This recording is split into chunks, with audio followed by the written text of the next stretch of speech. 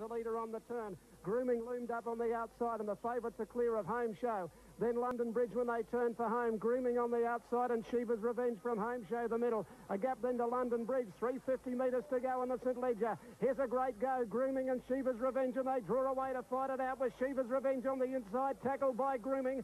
Grooming and Shiva's Revenge are locked together with 200 to go. Shiva's Revenge on the inside and Grooming. They're locked together now. Grooming the outside. Shiva's Revenge comes back. A neck in front of Grooming. Stride for stride. Shiva's Revenge fighting back a great staying effort and Shiva's Revenge wins the St Leger.